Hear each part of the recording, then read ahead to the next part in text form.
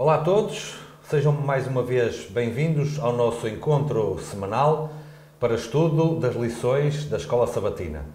Já estamos a entrar na reta final deste trimestre, mas ainda nos restam alguns assuntos da máxima importância com respeito uh, ao tema geral da preparação para o tempo do fim. Como sempre, temos o pastor Paulo Cordeiro que nos vai ajudar nos comentários da lição. Olá, pastor. Olá, Felipe. Bem-vindo mais uma vez. Obrigado. E hoje temos um assunto que tem tanto de importante como de polémico e como de conspiratório para alguns, mas para introduzi-lo, como sempre, vamos fazer uma curta oração para pedir a benção de Deus sobre este momento. Faz favor.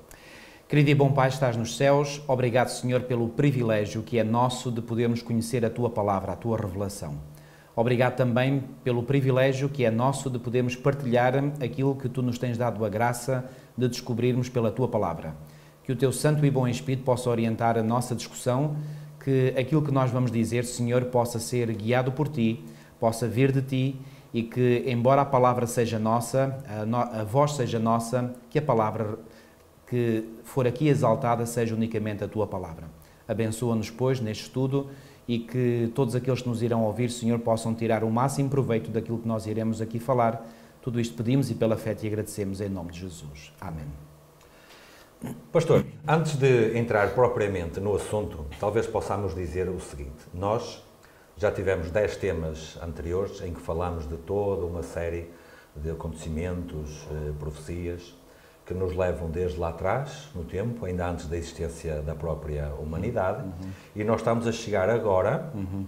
ou chegamos nestas lições, a um tempo que ainda está à nossa frente. Uhum Portanto, cronologicamente e no âmbito do grande conflito, este trimestre cobriu, dentro do possível, das limitações de tempo e tudo mais, tudo aquilo que há para cobrir, desde o início até ao fim, e esse fim estou-me a referir especificamente às três últimas lições, ao que está à nossa, à nossa frente. E assim sendo, nesse, nessa linha uh, cronológica de estudo que temos feito, nós hoje vamos falar do selo de Deus, ou da marca da besta, que, como eu dizia ainda há pouco naquela breve introdução, eh, é algo que deve ser entendido, porque obriga eh, a uma escolha, eh, mas é algo também muito confuso para, para muita gente, motivo de muita teoria da conspiração, de muito sensacionalismo e de muita contra-informação também.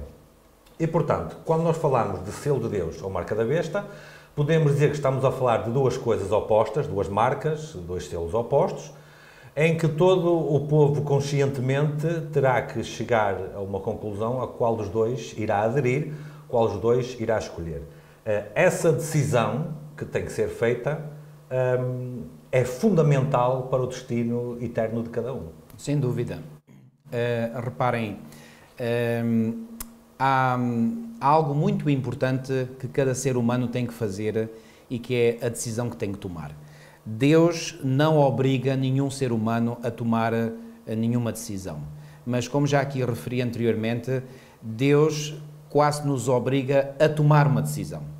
Não nos obriga a qual decisão nós teremos de tomar, mas obriga-nos a tomar a decisão. Pois bem, Deus irá conduzir os acontecimentos neste mundo de modo a que vai chegar um momento em que todo o mundo, e quando eu falo todo o mundo, estou a falar obviamente das pessoas que habitam no mundo, vão ter que ser confrontados com uma decisão. E essa decisão é a quem é que eu vou servir? A quem é que eu sirvo? essa, essa questão eh, está consubstanciada na, na grande controvérsia que vai haver sobre o verdadeiro dia de repouso porque vai haver duas posições, vai haver uns que é o digamos é o partido absolutamente maioritário, porque será a esmagadora maioria dos habitantes deste mundo, portanto que defenderá uh, uns com convicção, outros porque deixa andar, uh, portanto essa essa, aliás, Uh, no texto de, do livro do Apocalipse, mostra claramente que o povo de Deus recebe o selo de Deus na testa. E Reparem, esse selo não é um selo visível, todos nós sabemos isso, mas é a confirmação intelectual e espiritual da pessoa na verdade. E onde é que nós, qual é a parte do nosso cérebro onde nós pensamos, onde nós raciocinamos, onde nós podemos comunicar com Deus? Pois bem, estudos da uh, neurofisiologia constatam que, portanto, é no nosso lóbulo frontal. Portanto, ehm, esse selo na fronte quer dizer que o nosso lóbulo frontal está, está, está firme, está decidido. Portanto, não há, é um caminho irreversível. Não, não, não, não dá mais para vir para trás. Portanto, já estamos naquele caminho, não dá mais para, para vir para trás.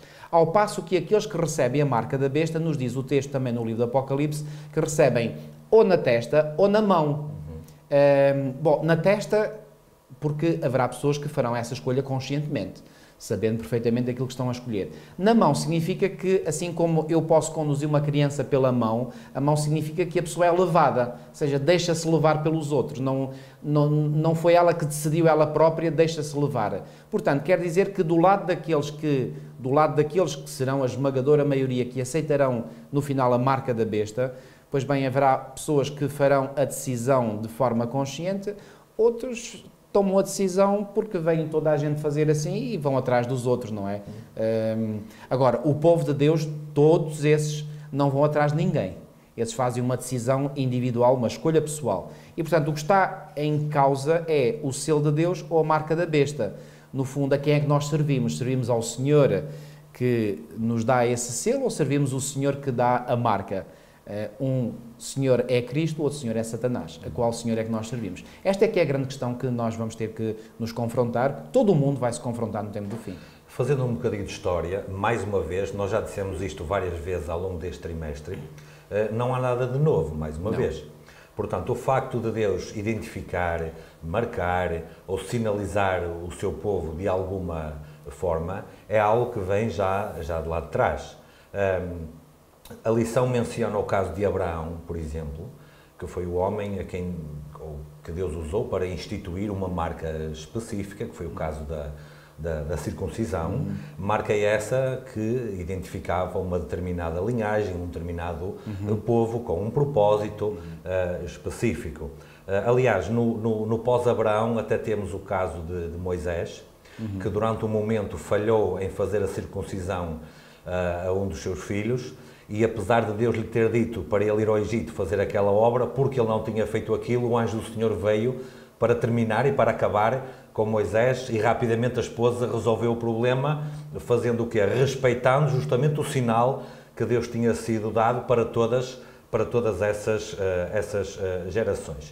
Uh, nós hoje não fazemos a circuncisão, como é evidente, mas a lição explica, explica bem que a partir do momento a partir do Novo Testamento, a partir do momento em que Cristo veio à Terra, não é? Uh, houve outro homem, que foi João Batista, que introduziu o ritual substituto da, da, da, circuncisão, que é justamente o ato do batismo, que tal e qual como o pastor estava a dizer, o ato do batismo bíblico não é algo que nós fazemos porque nos é imposto ou porque os outros fazem. Portanto, escolhemos deliberadamente, propositadamente e conscientemente a, fazê-lo. Por isso é que nós, como adventistas, não aceitamos o chamado batismo infantil. Exatamente. Que de batismo só tem um nome, porque batismo quer dizer imersão. Portanto, apenas como faz a, como faz a Igreja Católica Romana, despejar uma, umas gotas de água em cima da cabeça da criança, isso não é batismo nenhum. Mas pronto, eh, vamos, vamos supor que é batismo. Não, o batismo só pode ser administrado a pessoas que já têm um mínimo de compreensão para saber o que é que implica a decisão que estão a tomar. Portanto, isso, isso, é, isso, é, muito fundamental. Eh, por isso é que eu, pessoalmente, não sou muito apologista de que se batizem crianças ainda pequenas. Eh, relativamente pequenas. Portanto, porque a criança pode ir mais pela emoção do que pela razão. E nós temos que tomar decisões baseadas uhum. na razão. Eh, claro que os, os sentimentos têm o seu lugar também, mas não podem ter um lugar preponderante, dominante. O que tem, o que, tem que ter o lugar dominante é a razão. E, portanto, um, antes da puberdade, uma criança não está, em geral, isto não, não, não quero também fazer aqui uma lei de forma alguma, uhum. nem quero estar a fazer uma regra, mas de uma forma geral, antes da puberdade, a criança não está em condições de fazer uma decisão plenamente racional. Uhum. Aliás, no antigo povo de Israel era considerado 13 anos, certo. 12, 13 anos, é um, quando, quando havia o bar mitzvah e eles Exatamente. passavam a fase adulta. Portanto, não era antes dessa idade, era só a partir daí. Claro. Há, há, um outro... Um, há um outro ritual, uma outra cerimónia que, que não é mencionada na lição, mas eu gostaria de introduzir para, para enfatizar ainda mais esta questão da livre decisão das pessoas, que é o quê? Havia as cerimónias da Páscoa, que aconteciam no tempo do Antigo Testamento, até ao momento em que Jesus veio e que Jesus morreu. E depois isso terminou porque o antítipo encontrou uhum. o tipo e não há necessidade de matar cordeiros, porque o verdadeiro uhum. cordeiro já veio. Mas justamente na noite em que, em que o verdadeiro cordeiro morreu, esse mesmo cordeiro instituiu uma cerimónia que substituía aquela que vinha, que foi a Santa Ceia, que, que substitui a Páscoa do Antigo Testamento. E justamente a Santa Ceia, também ela, é uma cerimónia livre, aberta, que todos podem participar livremente, desde que percebam o que é que estão a fazer uhum. e, uh, e, uh, e, saibam exatamente o que é que aquilo significa, o que é que aquilo representa. Enquanto a Páscoa representava o Cordeiro que viria, a Santa Ceia aponta para o Cordeiro que já veio uhum. e o sacrifício que fez. Ora, é, estas circuncisão, batismo, o sacrifício do Cordeiro, a Santa Ceia com lava-pés, tudo isto é algo que o povo de Deus escolhe fazer voluntariamente, participar. Exatamente. Em oposição atroz, completa e total, aqui, aquilo que vai dirigido pela mão, que é induzido pelos outros, a mão é onde está o braço, que é também sinal de força, uhum. uh, porque também há força aplicada para impingir é, é. Esta, mesma, esta mesma adoração, que são métodos que Deus não usou, uhum. que Deus não usa e que Deus não pode, que Deus não pode usar. Portanto, a única coisa que Deus usa para marcar, e isto eu gostaria que ficasse bem enfatizado aqui, o pastor certamente também acha, a, a única coisa que Deus usa para marcar o seu povo é a livre consciência desse. desse Não desse pode ser de outra maneira, porque isso seria uma contradição com o próprio caráter de Deus. Um, nós sabemos que a característica principal do caráter de Deus, ou uma das características principais, é o amor. Ora, o amor é incompatível com o forçar. Uh, eu não posso forçar ninguém a amar-me. Eh, a partir do momento em que o faço, pois bem, aquilo que eu estou a desencadear é que é, é exatamente o, sentimento antagónico, ou seja, que essa pessoa não, não me ama, não é? Eh, é impossível, portanto, é, é, é, é pronto, é completamente incompatível, portanto, o amor e a falta de liberdade. Portanto, para haver amor tem que haver liberdade. E, portanto, Deus só, só trabalha desta maneira, não trabalha de outra. Agora, o inimigo, ele usa todos os meios e mais alguns, nomeadamente a coacção. Eh, psicológica, não é? O tentar impor. E, e isto é uma grande lição para nós, porque eh, se nós queremos ser verdadeiramente filhos de Deus, uh, então nós temos que refletir na nossa vida, no nosso caráter, esta disposição de Deus. Então, se Deus que é Deus não, não impõe nada a ninguém, que direito é que eu tenho ou que cada um de nós, seres humanos, temos para impor algo ao nosso próximo? Não temos esse, esse, esse direito. Não há um único exemplo na Bíblia, e, e, na Bíblia, tanto o povo de Deus como o chamado gentio, eh, o estrangeiro, tantas vezes fez tanta coisa contra a vontade de Deus e não há um único exemplo de Deus perseguir seja quem for. Pelo contrário, uh, do lado daquele que se opõe a Deus, há forte perseguição. E nesse caso nem, nem precisaríamos ir à Bíblia, bastava ver na história como é que as coisas aconteceram. Mas aqui uh, fazemos uma pergunta, pastor. Como é que neste contexto nós introduzimos o sábado? O que é que o sábado uh, tem a ver com isto? Porquê é que o sábado é, é, é, um sinal? Não seria uma invenção dos adventistas para justificarem uma das suas uh, crenças, uma das suas doutrinas e, e para valorizarem essa mesma doutrina que criaram toda esta importância à volta do sábado? Será que é algo que era apenas lá para trás para os judeus e não se aplica agora? Como é que o sábado se encaixa nisto de um sinal entre Deus e o seu povo? Pois bem, ehm, essa é uma questão muito, muito pertinente porque realmente, sobretudo aqueles que são inimigos da nossa mensagem, dizem-nos que isso é uma invenção adventista. Bom, não é uma invenção adventista, isso é ehm, algo que está na Bíblia e uh, ao falarmos do selo de Deus ou falarmos do sinal de Deus, Uh, nós temos de ter em consideração, em primeiro lugar, o seguinte, e aqui na lição de, de, de terça-feira, uh, eh, 12 de junho, uh, quando fala aqui do selo de Deus, o autor refere muito bem que o selo de Deus é primeiramente conferido ao crente no momento da sua conversão. Um, há bocadinho, quando falavas da circuncisão, eu estava para dizer, e aproveito para dizer agora, o seguinte: a circuncisão exterior, já agora, para quem não saiba o que era a circuncisão, era o cortar, digamos, cirurgicamente, enfim, com os métodos cirúrgicos, entre aspas, que havia na, na época, era cortar o prepúcio que cobre a glande do pênis no homem. Portanto, isto é que é a circuncisão. Se alguém não é adventista, não, não, está a ouvir este, isto pela primeira ou é vez, é ou não é judeu, portanto, não sabendo o que é a circuncisão, portanto, hum, há, portanto, o corte dessa pele que, em, eh, que, que, está, portanto, a cobrir a glande, que é a ponta do pênis do, do homem. Portanto, isso é cortado fora, ou seja, a glande fica a descoberto. Isso é a circuncisão.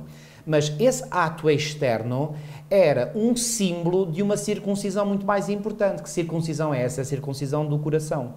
Por isso é que o apóstolo Paulo, por exemplo, em Romanos no capítulo 2, nos versículos 28 e 29, ele diz isto. Eu vou ler esse texto. Romanos capítulo 2, versículos 28 e 29 diz assim: Porque não é judeu quem, é, quem o é apenas exteriormente, nem é circuncisão a que é somente na carne. Aqui ele está a falar da circuncisão literal, carnal, que eu falei há bocadinho. Versículo 29. Porém, judeu é aquele que o é interiormente, e circuncisão a que é do coração no espírito, não segundo a letra, e cujo louvor não procede dos homens, mas de Deus. Bom, Paulo não está a trazer nada de novo, porque este conceito da circuncisão ele estava presente também no Antigo Testamento. Ou seja, não era a circuncisão carnal em si que tinha valor. A circuncisão carnal tinha valor porque era apenas e só a manifestação visível de algo que tinha acontecido interiormente. Isto é preciso que se enfatize isto muito bem, porque há pessoas hoje em dia que acreditam que a circuncisão no Antigo Testamento só tinha valor em si como ritual. Não, não, não, não, não, não. Isso é falso. Portanto, a circuncisão era apenas a manifestação visível de algo que tinha acontecido interiormente, ou seja, tinha havido a circuncisão uh, do, do coração. E porque tinha havido a circuncisão do coração, então, como demonstração exterior de que tinha havido essa mudança interior, fazia-se a circuncisão exterior. Portanto, Paulo não está a introduzir nada de novo, apenas está a confirmar o velho conceito. Aliás, este mesmo Paulo, no capítulo 4, ou seja, no capítulo, uh, dois capítulos à frente, quando ele fala da experiência de Abraão, o que é que ele diz, por exemplo? Uh, no versículo, uh, a partir do versículo 10, ele diz assim, Romanos 4, 10 e 11, diz assim, como, pois, lhe foi atribuída? Estando ele já circuncidado ou ainda incircunciso? Não no regime da circuncisão, e sim quando incircunciso. E recebeu o sinal da circuncisão como selo da justiça da fé que teve quando ainda incircunciso. Ou seja, o que é que veio primeiro na, na experiência de Abraão? Foi a circuncisão ou foi a fé? Primeiro vem a fé. E veio a fé que o justificou, ou seja, a fé foi o meio pelo qual Abraão foi justificado perante Deus. E como confirmação dessa justificação que Abraão recebeu, é que ele foi depois eh, circuncidado. Ou seja, o que é que Paulo está aqui a enfatizar? Uh, Abraão não foi circuncidado e depois disse é que teve fé. Não, não. Primeiro ele teve fé. E depois, como prova que tinha fé, é que ele foi circuncidado. Ou seja, não punhamos, como se diz em bom português, o carro à frente dos bois, não é? Uh, portanto, cada coisa no seu lugar. Primeiro a circuncisão do coração e depois a circuncisão exterior. Ou seja, Agora, trazendo isto para os tempos, de, de, de, portanto, para, para, os tempos da Igreja, portanto, primeiro tem que haver uma conversão interior e como prova, como manifestação exterior dessa conversão interior, a pessoa aceita ser batizada. Quer dizer, mal vai da pessoa que é eh, batizada sem ter passado por uma experiência uh, genuína de conversão. Aí, aí, nesse caso seria só um ritual e nada bom, mais. Aí eu nem chamo batismo, aí é um mergulho, aí é uma, uma, uma, lavagem. Mas para lavar, tem lá água em casa para tomar banho, não é preciso vir à igreja ou de sítio qualquer para tomar banho. Portanto, o batismo é apenas a manifestação exterior de algo que o Espírito Santo já produziu interiormente. Se assim não for, estamos a deturpar o verdadeiro uh, sentido do batismo.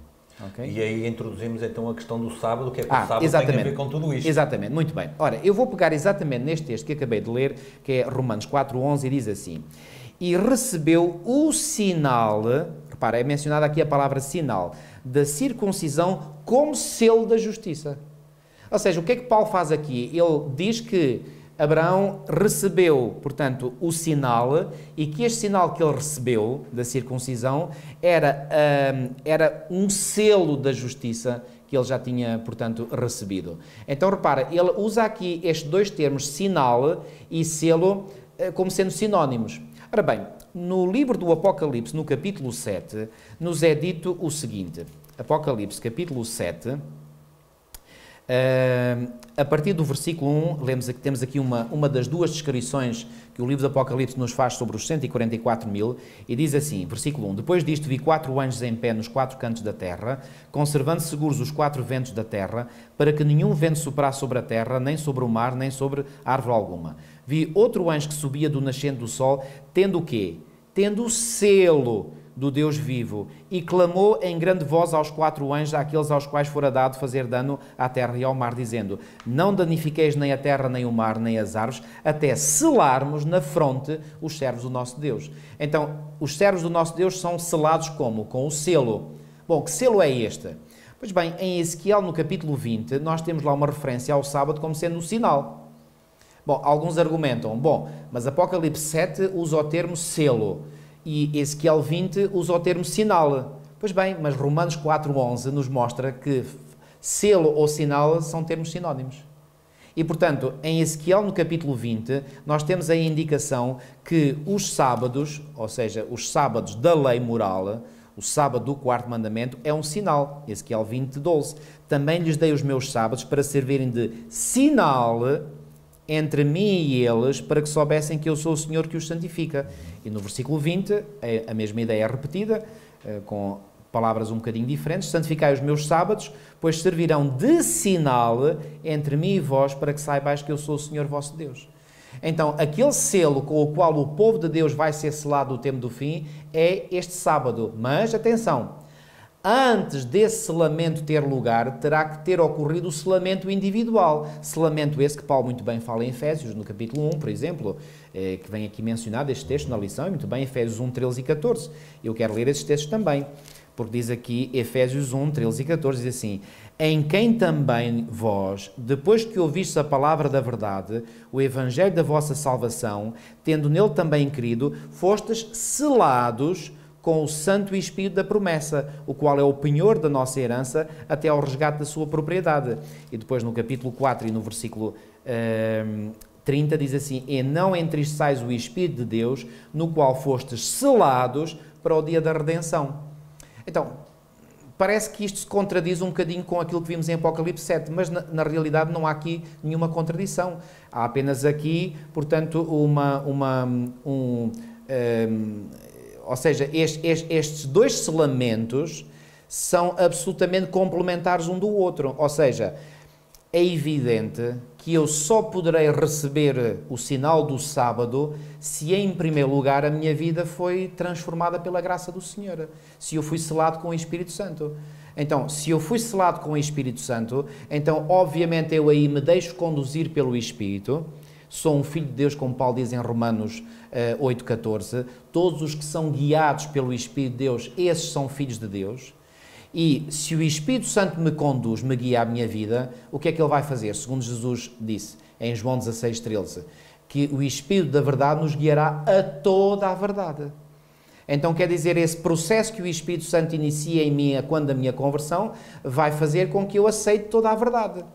E toda a verdade inclui, obviamente, a guarda dos mandamentos de Deus, o que inclui, obviamente, o quarto mandamento. Agora, no contexto do, do, do, apogeu do conflito final, em que nós sabemos que o sábado será o ponto central da controvérsia, todos aqueles que aceitam o sábado ou que se mantêm firmes no sábado nesse período, apenas estão, pela sua decisão, pela sua escolha, a dizer: Não, eu quero continuar do lado de Cristo, e não há aqui dúvidas. Portanto, uma coisa é complementar da outra. Pastor, vou fazer a pergunta que, porventura, algum amigo evangélico esteja a assistir e pode estar a fazer esta mesma pergunta de uma forma honesta e sincera. Mas isso não era para os judeus do Antigo Testamento? Porque eu vejo Deus a dar essas ordens lá no Antigo Testamento e parece, eu estou já a colocar o parece entre aspas, não é? Parece que isso não acontece depois no Novo Testamento, porque a teologia cristã vigente e preponderante valoriza o primeiro dia da semana hoje e não o último. Não, não se dará o caso do sábado uh, ser o sinal para os judeus no Antigo Testamento e isso ter terminado não ser, não ser bem assim? Uh, e por que razão é que é que, é que eu estou a fazer esta pergunta? Porque esta é uma dúvida sim, sim, corrente sim. e recorrente em muitos casos.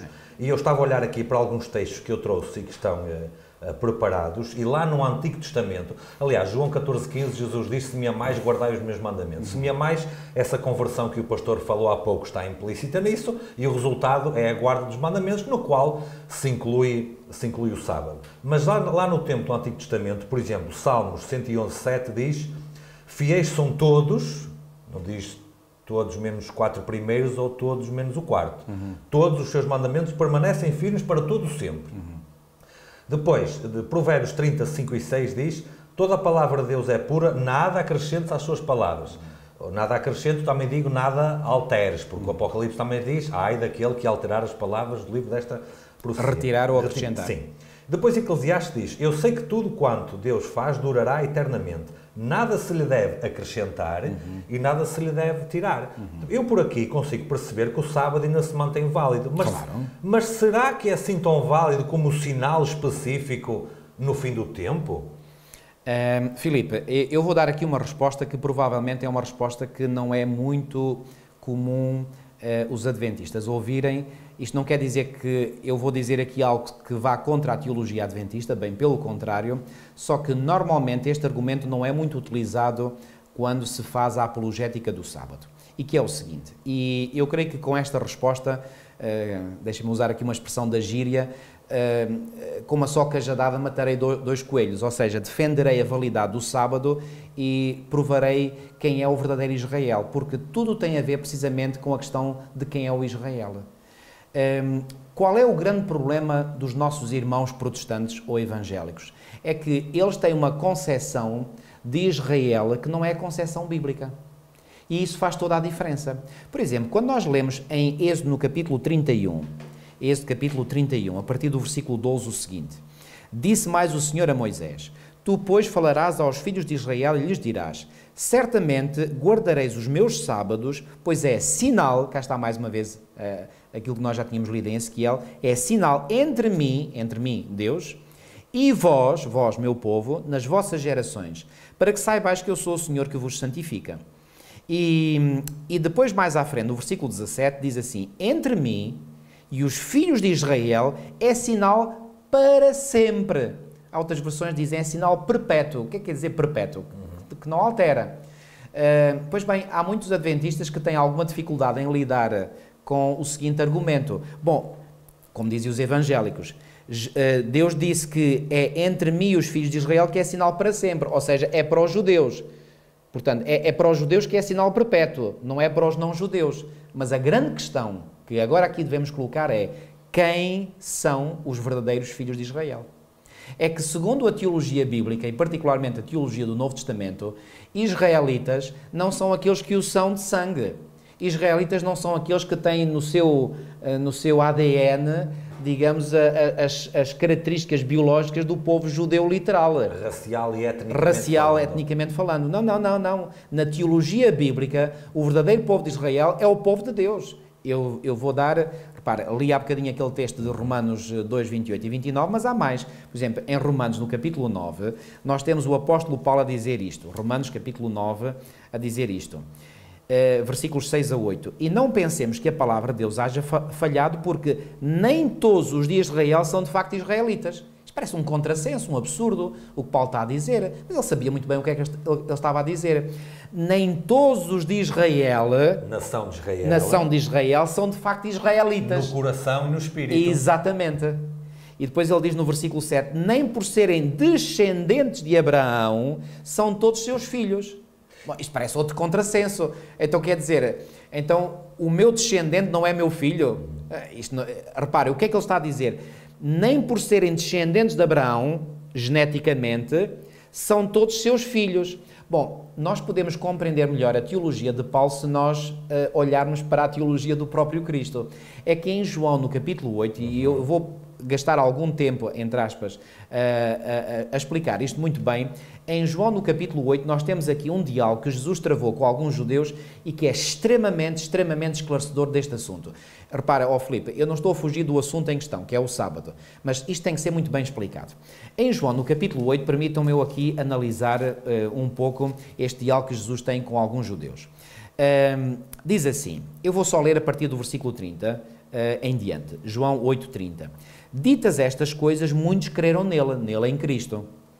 Disse, pois, Jesus aos judeus que haviam crido nele. E se nós não avançássemos na leitura desta passagem, até ficávamos todos contentes, porque realmente, segundo o texto, muitos, como diz aqui, creram nele. Mas já iremos ver que esta crença não foi uma crença genuína, foi uma crença falsa. Uh, disse, pois, Jesus aos judeus que haviam crido nele: Se vós permanecerdes na minha palavra, sois verdadeiramente meus discípulos e conhecereis a verdade, ou seja, se permaneceres na minha palavra, conhecereis a verdade e a verdade vos libertará. E quando estes judeus, reparem, não eram uh, judeus ordinários, para a sua expressão, eram judeus que já tinham crido nele. Quando estes judeus que já tinham crido nele ouviram o que Jesus disse, eles uh, sentiram-se incomodados, reparem. Responderam-lhe: Somos descendência de Abraão e jamais fomos escravos de alguém. Como dizes tu, sereis livres. Bom, havia uma coisa que, que eles não eram, não eram estúpidos. Eles tinham percebido muito bem o que é que Jesus tinha dito. Repare, Jesus tinha dito: E conhecereis a verdade, e a verdade vos libertará, libertará futuro. O que é que Jesus está a pressupor? Que eles ainda não eram livres. E eles perceberam muito bem, eles captaram a ideia muito bem. Eles disseram: O quê? Nós somos descendência de Abraão, ou seja, temos o ADN biológico de, de, de, Abraão. Não, nós não, não, não somos escravos de alguém. Como é que tu podes dizer sereis livres? Replicou-lhe Jesus: Em verdade, em verdade vos digo: todo o que comete pecado é escravo do pecado. O escravo não fica sempre na casa, o filho sim para sempre. Se, pois, o filho vos libertar, verdadeiramente sereis. Reparem, Jesus aqui vai usar exatamente o mesmo verbo que já tinha usado e que eles tinham enfatizado. E Jesus é como é como se estivesse a dizer: não, não, eu estou a confirmar aquilo, a vossa suspeita. Sereis, futuro, sereis livres. Mais uma vez, o que é que Jesus estava aqui a afirmar? Eles não eram livres naquele momento. Bom, eles vão ficar extremamente ofendidos com o que Jesus quer dizer. E reparem, um, mas antes disso, Jesus ainda vai acrescentar uma coisa: Bem sei que sois descendência de Abraão seja, Jesus está a dizer, eu sei que sois descendência de Abraão, o vosso, o, vo, o vosso pedigree Correto. é de Abraão, isso não, não, não põe em causa, vocês têm, portanto, todo, todo, todo... A linha genealógica. A linha genealógica, exatamente, é Abraão. Bem sei que sois descendência de Abraão, contudo procurais matar-me. Então, como é que é? Então, eles tinham querido em Jesus e procuravam matar? Então, que tipo de conversão é esta? Por isso é que eu disse há bocadinho, estes não, eles tinham querido, mas não era uma, conversa, não era uma, uma crença genuína, era falsa. Uh, contudo, procurais matar-me, porque a minha palavra não está em vós. Eu falo das coisas que vi junto meu Pai, vós, porém, fazeis o que viste em vosso Pai. E quando Jesus põe aqui em contraste o meu Pai com o vosso Pai, eles ainda ficam mais furiosos. Então lhe responderam: O nosso Pai é Abraão. Disse-lhe Jesus: Se sois filhos de Abraão, praticai as obras de Abraão. Repare o que é que Jesus vai dizer. Eu sei que sois descendência de Abraão, mas não sois filhos de Abraão. Esta é a teologia que Paulo mencionou em Romanos 9. E a seguir Cristo vai confirmar quando diz de quem eles eram verdadeiros filhos espirituais. E ele continua dizendo, mas agora procurais matar-me, a mim que vos tenho falado a verdade que ouvi de Deus. Assim não procedeu Abraão. Vós fazeis as obras do vosso pai. Disseram-lhe eles, nós não somos bastardos, temos um pai que é Deus. Replicou-lhes Jesus: Se Deus fosse de facto vosso Pai, certamente me havias de amar, porque eu vim de Deus e aqui estou, pois não vim de mim mesmo, mas Ele me enviou. Qual a razão por que não compreendeis a minha linguagem? É porque sois incapazes de ouvir a minha palavra. E agora, Jesus vai rematar toda a discussão com algo que é, é, é brutal mesmo. É, reparem, Jesus não foi politicamente correto, como nós hoje muitas vezes pretendemos ser. Ele disse aqui a verdade nua e crua. Vós sois do diabo que é vosso pai. E quereis satisfazer-lhe os desejos. Ele foi homicida desde o princípio e jamais se firmou na verdade, porque nele não há verdade. Quando ele profere mentira, fala do que lhe é próprio, porque é mentiroso e pai da mentira. Mas porque eu digo a verdade, não me credes. Quem dentre vós me convence de pecado? Se vos digo a verdade, por que razão não me credes? E agora Jesus remata com estas palavras: Quem é de Deus, ouve as palavras de Deus. Por isso, não me dais ouvidos, porque não sois de Deus. Uhum. Então, Jesus reconheceu ou não reconheceu que eles eram descendência de Abraão? Reconheceu. Mas apesar de reconhecer que eles eram descendência de Abraão, disse-lhes: Vós não sois filhos de Abraão. Ah, não, somos filhos de Deus. Não, não, não. Vós sois filhos do diabo. Então, o que é que Paulo está a dizer em Romanos 9? Está a dizer nem todos os que são de Israel são de facto israelitas. Nem todos os que são de Israel no, no sentido carnal, eh, biológico, genético, são de facto israelitas no sentido espiritual. E aqui está uma grande verdade que o Novo Testamento apresenta e que eu vou reforçar com mais alguns textos bíblicos que estão uh, na Epístola de Gálatas. Gálatas, por exemplo, no capítulo 13 e no versículo 7, Paulo diz assim: Sabei, pois, que os da fé é que são filhos de Abraão.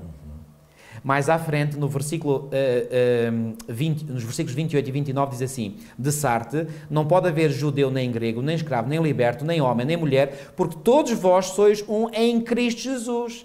E se sois de Cristo, também sois descendentes de Abraão e herdeiros segundo a promessa. Então, quem são os verdadeiros israelitas segundo a teologia bíblica? Todos aqueles que são de Cristo.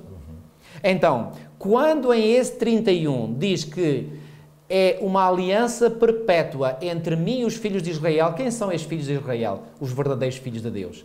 E para os verdadeiros filhos de Deus, o sábado é um sinal perpétuo. Era no passado. E é hoje. Foi durante o tempo, continua a ser Exatamente. até aos dias de hoje. Pastor, alguém poderá uh, perguntar porque é que numa lição desta uh, nós estamos aqui a gastar ou a investir tanto tempo a explicar a importância do sábado como sinal e como marca de Deus ao longo do tempo. Mas a razão é muito simples. É porque agora torna-se extremamente fácil uh, apontar qual seja a contrafação e qual seja a marca da besta. Uhum, uhum. Porque, como é evidente, tudo aquilo que Satanás faz ao longo de toda a Bíblia, ele não é muito original, ele não traz nada de novo, não. ele faz uma contrafação à verdade. E esta é a verdade acerca do selo, acerca da marca de Deus que identifica de uma forma especial o seu povo. Alguém também dirá, mas então a identificação não é a guarda de todos os mandamentos? Claro que é a guarda de todos os mandamentos, isso não há dúvida nenhuma. Se me mais guardar os meus mandamentos. Todos, sem exceção. Todos, sem exceção, sem dúvida nenhuma. Mas, de uma forma muito especial e muito particular, há um que identifica e que marca e que assinala o povo de Deus ao longo do tempo, conforme, conforme nós já vimos, e que foi especificamente destinado a servir exatamente de, de sinal. Uh, há algo muito importante que é o seguinte, pastor. O pastor referiu uh, que esse selo, essa marca não é algo visível, mas é algo que é implantado no coração e na mente, na convicção das pessoas. É espantoso que Deus não fez um sinal de pedra ou de madeira uh, ou um, um, utensílio qualquer que poderia ser destruído. Uhum. Deus fez um sinal de tempo. Uhum. Uh, e os homens podem fazer o que quiserem. Até já tentaram mudar a semana de sete dias no tempo da França. Da Revolução, da Revolução Francesa. Na Rússia também tentaram fazer isso, aquilo fracassou logo rapidamente.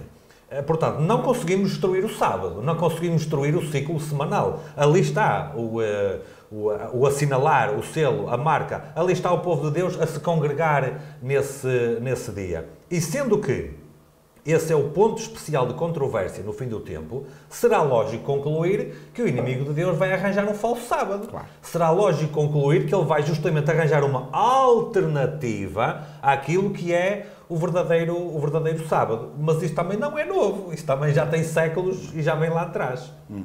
É, é, há aqui várias coisas que que, que, nós podemos dizer. Eu vou começar por este, por este detalhe. Há pessoas que às vezes dizem: Ah, isso sábado não é importante, o que é importante é termos um dia de repouso. Qual é o dia, se é o sábado, se é o domingo, pouco importa. Então, se pouco importa, então porquê que não vamos escolher o sábado? Porquê, porquê que fazem tanta questão em que seja o domingo? Porquê que no tempo do fim todo o mundo vai querer escolher o domingo? Então, eh, se pouco importa, então já agora escolhemos aquele dia que está claramente revelado na Bíblia, se é assim tão pouco importante. Bom, não é assim tão pouco importante quanto isso. É que a adesão ao sábado ou ao domingo, eu volto a enfatizar isto, desculpem-me aqueles amigos já me ouviram dizer isto várias vezes, mas eu vou repetir-me. Ehm, a minha adesão ao sábado ou ao domingo demonstra qual é o Senhor que eu sirvo. É o Senhor do sábado, que é Jesus Cristo, ou é o Senhor do domingo, que é Satanás? Essa é que é a grande questão. Pastor, antes e... de continuar o seu raciocínio, estava a perguntar uh, porque é que não escolhemos o sábado e qualquer um serve, que é o raciocínio. Em Isaías 66, 23, fala do sábado na nova terra, na eternidade. Exato. E diz que de um sábado ao outro virá toda a carne a durar diante de Deus. Então quer dizer, durante uma longa parte da história era o sábado. Agora é qualquer um. E depois volta a ser o sábado. Então onde é que está o Deus que não muda? Exatamente. Então onde é que está o Deus que não tem sombra de, de, de variação? De variação? Uhum. Então, tínhamos um problema aqui Exatamente, nesse caso. Claro que é? sim. Outra coisa que eu quero aqui enfatizar é que uh, muitas vezes somos acusados de ser legalistas. Este, este é um dos argumentos que se ouve muito frequentemente da parte dos evangélicos. Eu vou demonstrar que o sábado está exatamente nas antípodas do legalismo. Reparem bem, hum, hum, tu há vou começar com a ideia que há bocadinho referiste. Houve um pensador judeu, um rabi judeu, escreveu um livro, só o título diz tudo: Um Santuário no Tempo. Uh, eu, gosto imenso deste título, Um Santuário no Tempo. Ele estava a referir-se aqui, obviamente, ao sábado. Um, e é, é, isso mesmo, é um santuário no tempo, não é um santuário visível, não é um santuário que possa ser destruído, não, é um santuário no tempo e, portanto, não pode ser destruído. Agora repare uma coisa, ó oh, Filipe, quase todas as grandes religiões pagãs têm os seus locais santos, santos entre aspas, obviamente.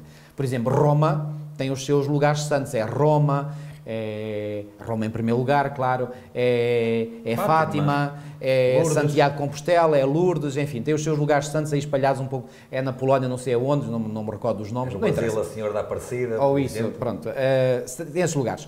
O islamismo tem os seus lugares santos, Meca, Meca. Isso é o, grande... Uh, Medina, Jerusalém. Medina, Jerusalém também, por isso é que há aquela grande guerra.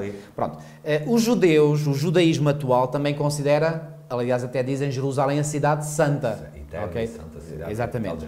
Portanto, um, nas religiões, por exemplo, politeístas, como é o caso do hinduísmo, há lugares, lugares santos, por exemplo, o Taj Mahal na Índia, o rio Ganges, portanto, ou seja, todas as religiões pagãs têm locais uh, sagrados. Aliás, faz-me lembrar aquele diálogo que Jesus travou com aquela mulher samaritana. Ela disse: Ah, então, mas vocês dizem que se deve adorar em, em Jerusalém. Nós dizemos, em, Nós dizemos em Samaria, mas e o, e o, Senhor disse assim para, oh mulher, eh, não é Samaria nem Jerusalém. Será o dia que nem adorarás aqui, nem... Ou, ou, seja, o Senhor o que lhe deu a entender, oh mulher, esquece lá o lugar, isso não importa o lugar, o que importa, e os adoradores que o Pai procura é os que o adorem em espírito, espírito e em verdade, ok? Agora, na religião verdadeira, na religião bíblica, não há um lugar sagrado uh, há um tempo sagrado.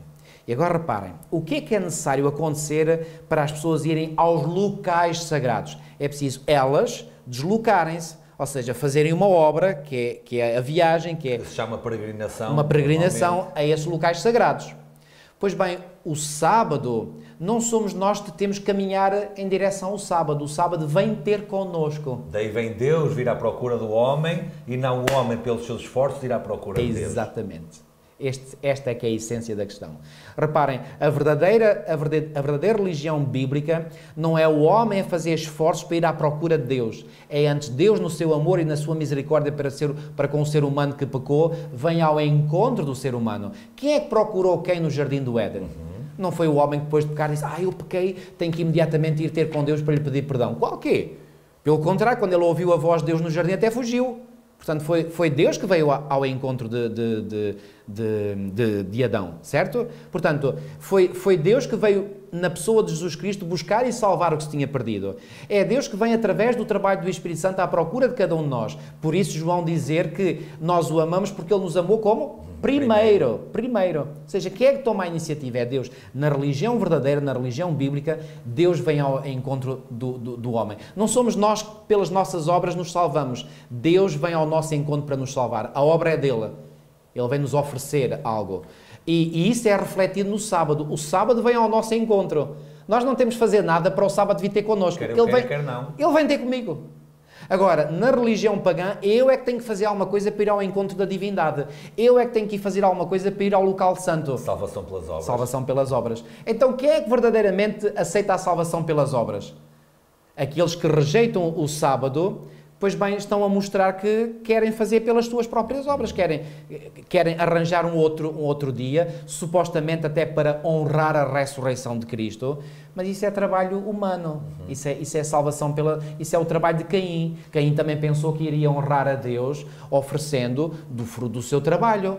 Repare, o raciocínio que ele terá feito, penso eu, repare, isto é uma suposição minha, eu, eu que seja claro. Mas uh, Caim provavelmente pode ter feito esta suposição na sua mente. Ora, eu sou lavrador, o meu irmão é pastor. Bom, como ele é pastor, claro, pode oferecer do, do, do, do um animal do seu rebanho. Eu sou lavrador, eu vou oferecer frutos da, da terra. Pronto. Raciocínio, entre aspas, perfeito.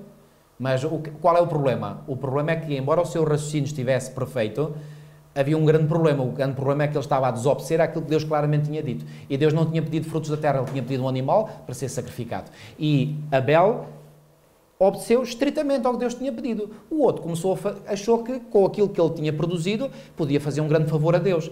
Pois bem, podemos nós fazer um favor a Deus respeitando o dia da ressurreição só para dizer, ai, eu honro a ressurreição de Cristo e como tal eu respeito o dia em que ele ressuscitou. Mas desde quando na Bíblia é que vem a dizer que por Jesus ter ressuscitado no domingo esse dia passou a ser o dia correto? Mas eu respondo a essa pergunta. Eu há um há um documento que eu tenho em minha posse até, e eu penso que o pastor conhece, há mais de 100 anos atrás, uma publicação católica na América do Norte chamada The Catholic Mirror. Uhum. Fizeram um estudo, eh, porque os adventistas tinham 50 anos de história, mais ou menos, e já enfatizavam fortemente a questão do sábado, claro.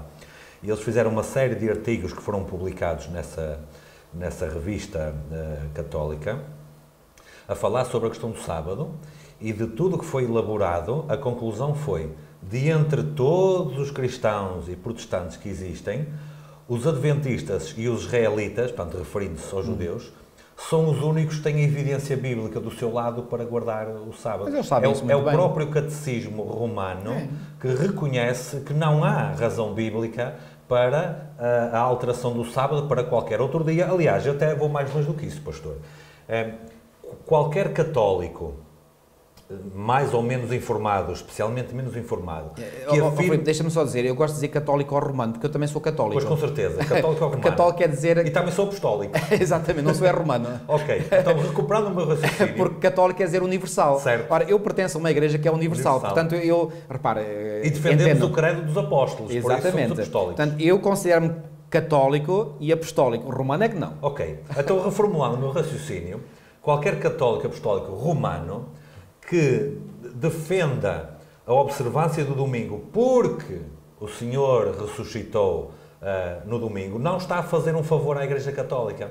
Porque aí estaria a procurar nas Escrituras uma justificação para o domingo, que não existe e não consegue encontrar. Exatamente. Mas ao procurar nas Escrituras uma, uma justificação para guardar o domingo, esse católico romano estava a fazer prevalecer o princípio do sola scriptura, que é atroz para o próprio catolicismo.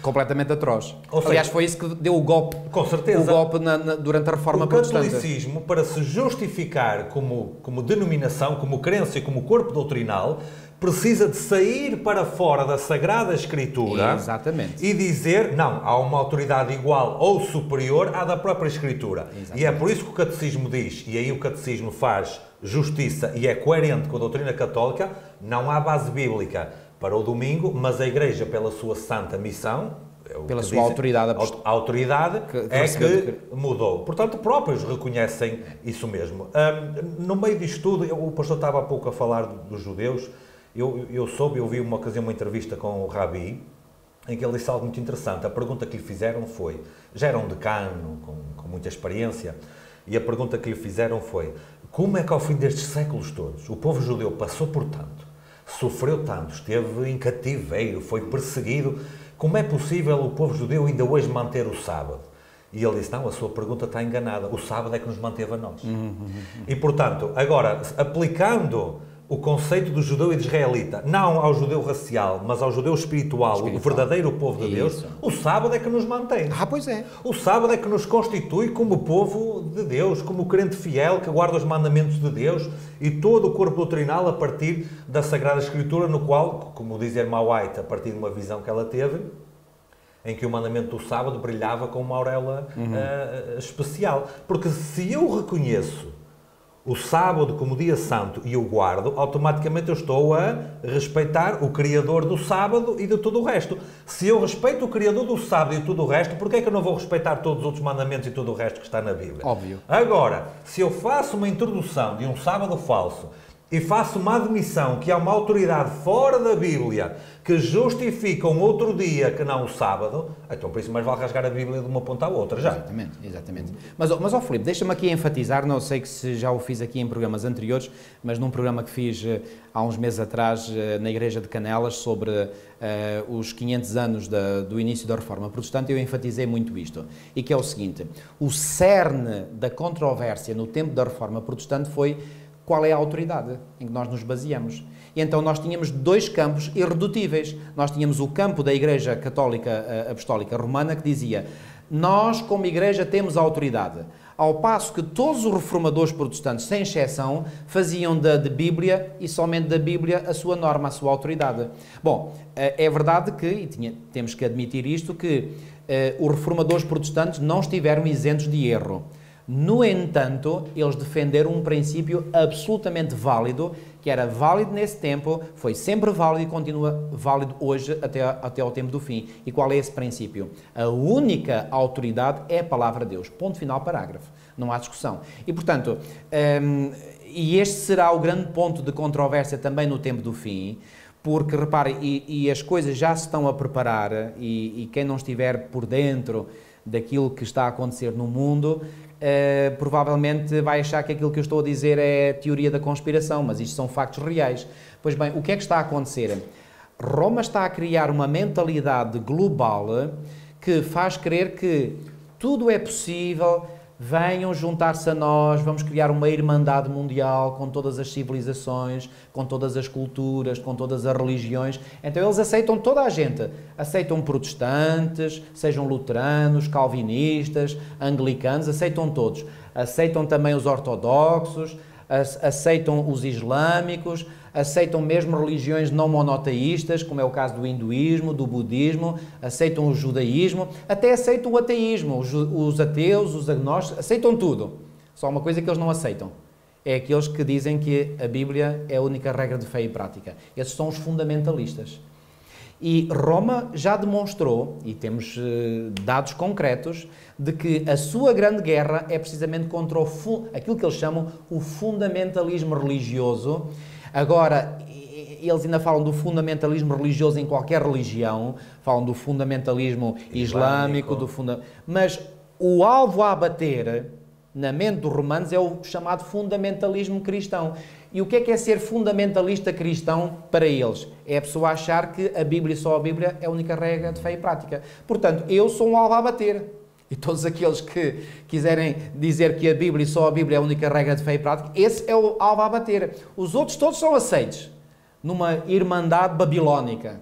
Aquilo é, aquilo é um caldeirão com, com, com, com tudo lá dentro, não é? Mas aqueles que querem se manter firmes por este princípio protestante, esses serão o alvo a bater. Portanto, e as coisas estão, estão a caminhar nessa, nessa, nessa direção a passos largos e visíveis. Pastor, nesse contexto, e para nós percebermos a realidade prática e visível que está ao nosso lado, nós podemos ver que uh, a esmagadora maioria, quase todas mesmo, das religiões ditas protestantes uh, e evangélicas, conscientemente ou inconscientemente, por, por conhecimento ou por desconhecimento, seja lá por que for, na prática, na sua doutrina, aceitam o falso sábado, aceitam o aceitam, falso sábado aceitam, do aceitam. catolicismo romano. Sim, sim, sim, sim, E este é um problema muito grave. Porquê? Porque ao mesmo tempo que as igrejas reformadas reclamam também no solo a escritura como uma herança da reforma, estou a falar dos protestantes. Mas é? na prática não na são. Na prática não acontece não isso. São, não são. Porque se assim fosse, e como diz muito bem aquela publicação católica que eu fiz referência há pouco, apenas os adventistas são e coerentes. os judeus são coerentes são em coerentes. observar o, o, sábado. Portanto, se o meu amigo está a observar isto uh, e está a chegar a alguma conclusão uh, e está em dúvidas se deve acreditar nessa conclusão que está a chegar, eu próprio vou enunciar a conclusão.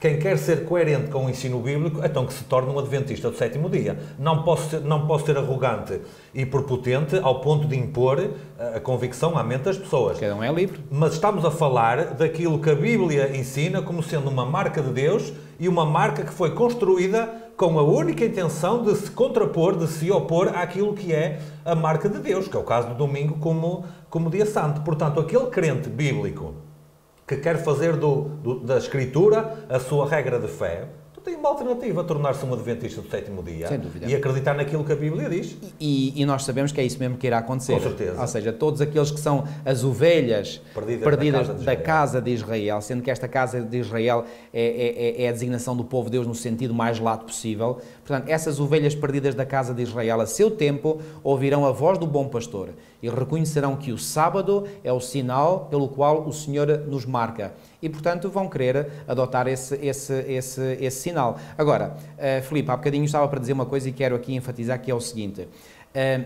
precisamente aquilo que parecerá quando, quando este assunto, porque isto, está em crescendo, ainda não chegámos a esse clímax do grande conflito, vamos lá chegar. Não tenho a mínima dúvida que estamos a caminhar para lá. Ainda lá não chegamos. Mas quando este assunto do sábado se tornar ponto de discussão em todo o mundo, que isto vai acontecer, podem ter a certeza, em todas as nações do mundo isto vai ser ponto de discussão, isto, e, e, com o povo de Deus a dizer, não, o verdadeiro, o verdadeiro, dia de repouso é o sábado, não é o domingo, isto vai ser o, o, o alto clamor, a expressão usada no Espírito de Profecia, quando isso acontecer, poderá parecer na mente de alguns que, epá, se eu aceito o sábado, eu estou desgraçado, porque tenho o mundo, todo o mundo contra, contra, contra, contra mim.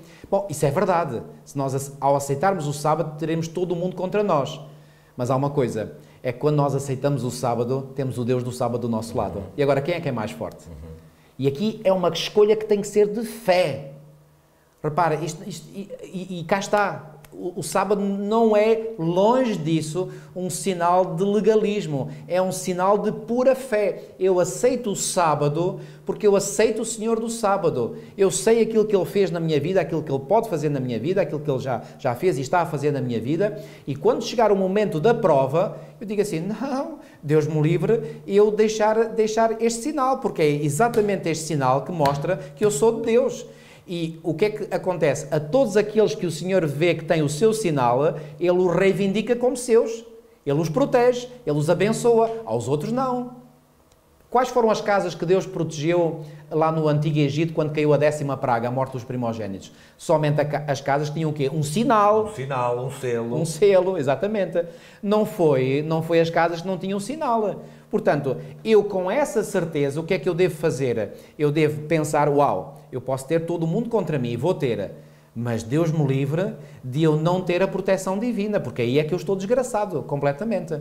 Então, para uma pessoa minimamente inteligente, eu, eu, faço aqui questão de sublinhar isto, para uma, uma, uma, pessoa minimamente inteligente, a pessoa aceitará o sábado, porque ao aceitar o sábado tem a firme certeza pela fé que o Deus do sábado estará com ela e a, a protegerá, a, livrará de muitas provações e dificuldades e finalmente a conduzirá ao porto seguro da eternidade. Aquilo que o pastor está a dizer é, é uma, é uma alusão e uma explicação aos versículos 16 e 17 do capítulo 13 de Apocalipse, onde diz que aqueles que não quiserem receber o sinal. Eh, Aqui a lição fala de marca da besta e tudo mais. Eu vou dizer o falso sábado, vamos sim, dizer claramente. Sim, sim, sim, Mas é isso, claro. É, aqueles que não aceitarem o falso sábado, que serão perseguidos, diz isso mesmo no capítulo uh, 17. Agora, alguém disse uma vez e com razão, uma frase espirituosa, mas daquelas boas, disse: Um com Deus é sempre maioria. Uh, Daniel na cova dos leões estava sozinho e ele prevaleceu os três rapazes dentro da fornalha estavam sozinhos e, uh, e prevaleceram. Por que razão é que aconteceria algo diferente no, uh, no, no, final do tempo? Uh, pastor, para, para em jeito de, de, de, conclusão deste, deste assunto, aquilo que está à nossa frente não é exatamente um tempo fácil, em que bastará eu dizer, levantar a mão, eu posiciono-me pelo sábado e fico quietinho no meu lugar. Ou seja, o mundo prepara-se para uma convulsão tão grande, tão grande, que vai ser uma luta terrível. Eu não sei sei dizer do pior que já houve ou o pior que já houve mesmo, em que vai exigir uma grande preparação espiritual a, a todos os níveis, em primeiro lugar individual e depois coletiva, da parte dos crentes, da parte do verdadeiro Israel, da parte do povo de Deus, porque não podemos cair no erro de pensar, ok, eu, eu sei que isto vai acontecer, portanto eu vou ficar aqui quietinho no, no meu lugar, quando isso acontecer, depois eu levanto a mão e digo que eu sou um guardador do sábado. Isso não acontece. A, a, preparação é agora, é por isso que o estudo da lição da escola sabatina é preparação para o tempo do fim. Não vamos preparar-nos quando as coisas acontecerem, preparamos agora. Até porque nunca sabemos o que vai acontecer logo à tarde, amanhã ou depois. E, e, ou seja, eu não vou só poder guardar o sábado a partir dessa altura. Correto. Eu tenho que habituar-me a guardar o sábado já hoje. E quem diz o sábado diz qualquer outro mandamento. Ou seja, eu tenho que colocar a minha vida em conformidade com os grandes e santos princípios da lei de Deus, são os dez mandamentos. Ou seja, quando surgir essa forte perseguição em, em questão de consciência religiosa, o povo de Deus será achado preparado nessa ocasião. Será achado de pé para responder positivamente, para dar o seu testemunho, e pode ser de várias formas, até sem abrir a boca se pode dar um grande testemunho. Se me permites, eh, eu tenho aqui este livro, eh, já é uma edição mais antiga, edição, ou seja, a capa, mas é uma versão mais antiga, mas o livro é sempre o mesmo, Eventos Finais, e aqui na página 150 deste livro, portanto no capítulo 12, que é, tem como título A Sacudidura, diz aqui a marca, não vai longe o tempo em que a prova sobrevirá a toda a alma, ou seja, ninguém ficará de fora desta prova. A marca da besta nos será recomendada com insistência. Vamos ver aqui esta, esta insistência, que isto é típico de, de, de, de Satanás, não de Deus. Uh, quer dizer, Deus pode insistir, mas nunca forçar. Agora, esta insistência aqui é quase no sentido de nos querer enfiar obrigar, isto, obrigar, quase. de quase de meter-nos pela goela abaixo, não é? E agora repara o que diz aqui Ellen White: os que, passo a passo, cederam às exigências do mundo e se sujeitaram a costumes mundanos, não acharão difícil submeter-se aos poderes dominantes, de preferência a expor-se a escárnios insultos, ameaças de prisão e morte. O conflito é entre os mandamentos de Deus e os mandamentos de homens. Nesse tempo, o ouro será separado da escória na igreja. Ou seja, o que é que isto nos diz? Se nós não formos hum, vivendo pela graça de Deus a santificação, não estaremos preparados para, neste tempo de prova, resistir. Só resistirão aqueles que já estiverem preparados. Reparem, por exemplo, nós vemos na parábola das dez virgens mencionado, todas adormeceram. Todas. Mas com uma grande diferença. É que quando elas foram sobressaltadas e acordaram, Cinco tinham-se preparado convenientemente. Não na hora, anteriormente. Antes, estavam Anterior... preparadas. Ao passo que as outras acharam que se calhar poderiam preparar-se lá no, no tempo do fim, etc. Um, reparem, há uma, há uma grande descoberta que eu fiz, oh Filipe, se me permites, uh, há uma grande descoberta que eu fiz sobre as virgens nécias. É que a Bíblia nos diz em Mateus 25, 8, uh, esse é um pormenor que eu nunca tinha reparado até, até aqui há um tempo atrás. Quando eu digo há um tempo atrás, já foi há uns anos. Uh, em Mateus, no capítulo 25 e no versículo 8, diz assim: E as nestas disseram às prudentes: Dai-nos do vosso azeite, porque as nossas lâmpadas estão se apagando. Ou seja, o que é que isto quer dizer? Elas tinham azeite. Se não tivessem azeite, as lâmpadas não estavam acesas, estavam acesas. Mas elas já perceberam-se que as lâmpadas estavam-se a apagar. O que é que isto quer dizer? Que o azeite estava a chegar ao fim, certo? Ao passo que as outras, as, as, as prudentes, tinham azeite com fartura. O que é que o azeite simboliza? Simboliza o Espírito Santo. O que é que isto quer dizer? Que as prudentes, como é que elas se prepararam? Bom, Jesus diz em Lucas, disse em, e está registrado em Lucas 11, 13, que o Pai, o, o, se vós que sois uh, uh, maus, sabeis dar boas dádivas aos vossos filhos, quanto mais o Pai Celeste não dará o Espírito Santo, mas a quem? Àqueles que lhe pedirem. Então, o que é que nós podemos depreender das virgens prudentes? Elas pediram muitas vezes, muitas vezes, muitas vezes, muitas vezes o Espírito Santo. E cada vez que pediram, recebiam, recebiam, recebiam, recebiam. Ou seja, a sua reserva era enorme. E agora eu faço a pergunta: porquê é que elas pediram tantas vezes o Espírito Santo para terem uma reserva tão grande? Porque elas estavam a lutar contra as suas tendências pecaminosas. E o que é que aconteceu com as outras, com as, com as virgens uh? Essas tinham pouco azeite, porque se calhar pediram um pouco. E pediram um pouco, de, se calhar porquê? Oh, porque elas não estavam muito preocupadas em vencer o pecado. Tem tempo, eu posso continuar a pecar até à vinda de Cristo, por exemplo. E reparem, em Provérbios, no capítulo 13, nós temos dois, uh, 13 e depois num outro texto que eu vou mostrar. Nós temos aqui um, um texto crucial que nos ajuda a, a, compreender a natureza das virgens nécias. É que em Provérbios, no capítulo 13 e no versículo 9, lemos o seguinte: Provérbios 13, 9. A luz dos justos brilha intensamente, mas a lâmpada dos perversos se apagará. Ora, o que é que estava precisamente a acontecer com as lâmpadas das virgens nécias? Estava-se a apagar. E comparando aquele texto com este, e há outro, que está é, no capítulo 24 também de Provérbios e no versículo 20, mas que diz a mesma coisa, porque o maligno não terá bom futuro e a lâmpada dos perversos se apagará. Ora, as virgens loucas tinham as suas lâmpadas a apagar-se. O que é que isto denota? Que o seu caráter era perverso. E o que é que Jesus vai dizer lá no fim da, da parábola? Que elas, entretanto, eh, por recomendação das prudentes, foram tentar comprar, já não encontraram, porque a palavra de Deus já acabou de. tinha-se fechado a porta, esta porta significa o, o, fecho da porta da graça. E mais tarde, diz o versículo 11, chegaram as virgens nestas, clamando: Senhor, Senhor, abre-nos a porta. Mas ele respondeu: Em verdade vos digo que não vos conheço. E esta, esta resposta que Jesus dá às virgens nestas, não vos conheço, faz-me imediatamente pensar numa outra, numa outra passagem de Jesus, que vem registada em Mateus 7, mas aí não é no contexto de uma parábola, em que Jesus diz assim: versículo 21 a 23, nem todo o que me diz Senhor, Senhor entrará no reino dos céus, mas aquele que faz o quê? A vontade do meu Pai que está nos céus. Muitos naquele dia vão dizer, Senhor, Senhor, porventura não temos nós profetizado em Teu nome? E em Teu nome não expelimos demónios? E em Teu nome não fizemos muitos milagres? Então lhes direi explicitamente, nunca vos conheci. Exatamente a mesma resposta que Ele dará às virgens nécias. Apartai-vos de mim, as nécias, os que praticais a iniquidade. Eu pergunto, dar-se-á o caso de que quando fechar a porta há pessoas que ainda estão a praticar a iniquidade? Claro que sim. Isto é perfeitamente possível. Agora a minha pergunta é: à luz da parábola, quem são esses? São as virgens loucas, as virgens nécias, que ainda estavam a pecar. Mas as outras, elas lutaram, lutaram, elas pediram o Espírito Santo para vencerem, não na sua força, que é zero, mas na força divina. E essas venceram.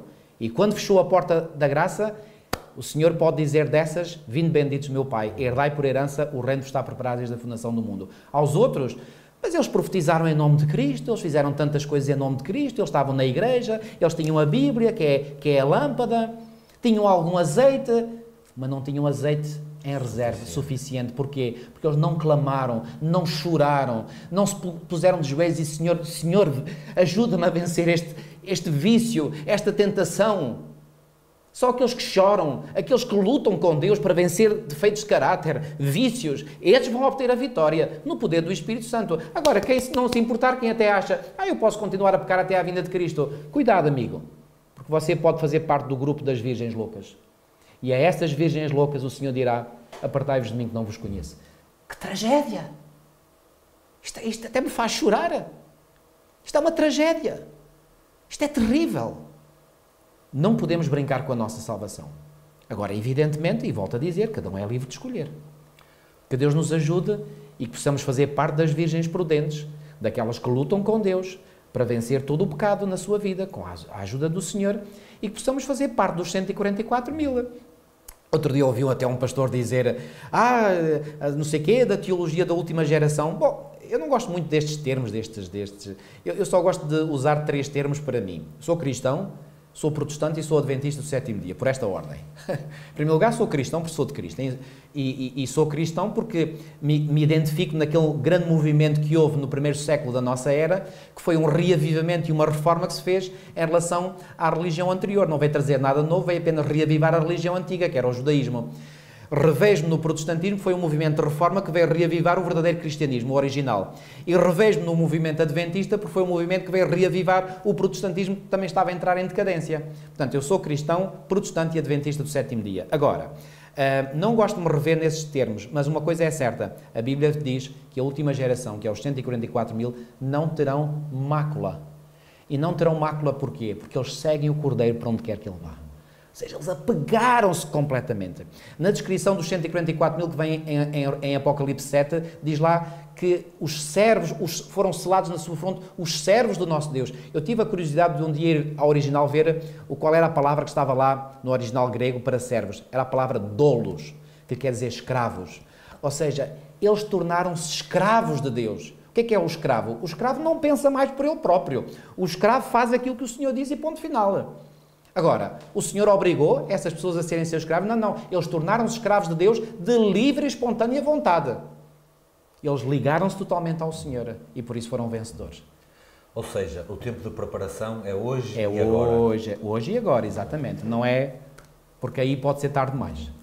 Ainda em relação a este assunto, gostaríamos de oferecer e sugerir um pequeno livreto que foi preparado e que resume alguns dos pontos que estarão em disputa no último grande conflito entre o povo de Deus e aqueles que não querem ser o povo de Deus, e que poderá descarregar o PDF gratuitamente neste endereço que está a passar na vinheta e se quiser entrar em contacto poderá até obter cópias uh, físicas. Pastor, podemos terminar com uma oração o assunto de hoje? Com certeza.